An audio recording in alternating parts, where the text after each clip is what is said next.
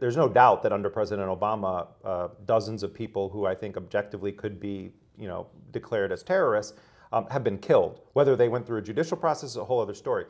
But the entire thing is predicated on a lie. Uh, the lie that this is a cleaner, safer way of waging war. Uh, the reality is, and, and the, the, documents that we obtained show this, uh, that at times nine out of 10 of the, peop- uh, of the people killed in drone strikes by the US the U.S. doesn't even know their identities. Mm. Uh, in other words, nine of, of, the 10 people were not the intended targets of the strike. Uh, were they other so called bad guys? Maybe.